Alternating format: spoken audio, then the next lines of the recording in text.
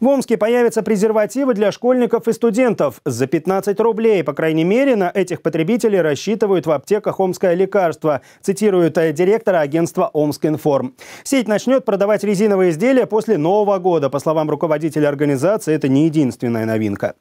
В линейке появится мороженое для диабетиков, травяной чай из Акунева, косметика, но хитом, скорее всего, станут именно презервативы, которые благодаря ценам окажутся доступнее аналогов. Экономить на качестве госаптека не собирается. Производство будет налажено на китайском заводе, где уже выпускают презервативы известных марок. Не повышать стоимость позволили минимальные затраты на рекламу. Контрацепция – лучший способ защитить себя и своих близких, уверен директор сети. Ведь ВИЧ все чаще передается именно половым путем безопасность должна быть абсолютно доступной. Стоимость там, презервативов три штуки 150-200 рублей.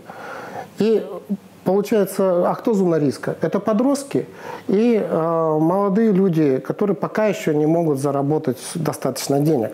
Поэтому возникает выбор или билет в кино, или презерватив.